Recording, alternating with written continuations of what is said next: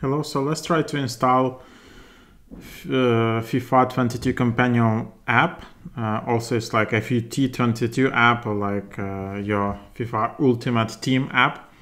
Uh, so just tap get and you should be start installing. So 74 megabyte size.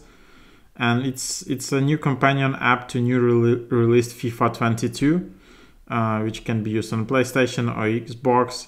And to use this app, you need to have FIFA 22 account with a, a FUT Club on PlayStation, Xbox, or Origin.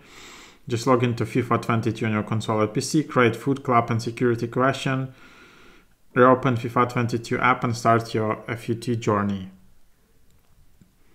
So this is how it works. So it's like FIFA 22 Ultimate Team app.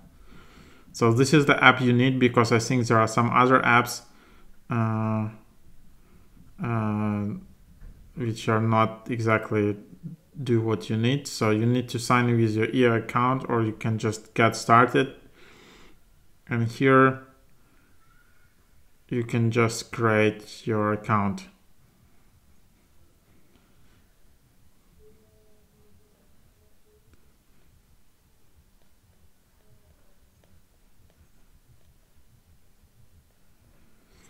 Uh, so yeah you can just create your ultimate team here. Uh,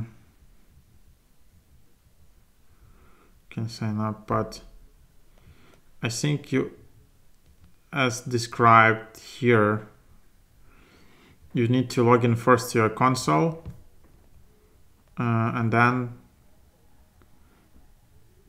and then create so log in on your console or PC, create a, FUT club and add security question, reopen and start your uh, journey. So I think from here you need to log in like this and then just create uh, with your EA account.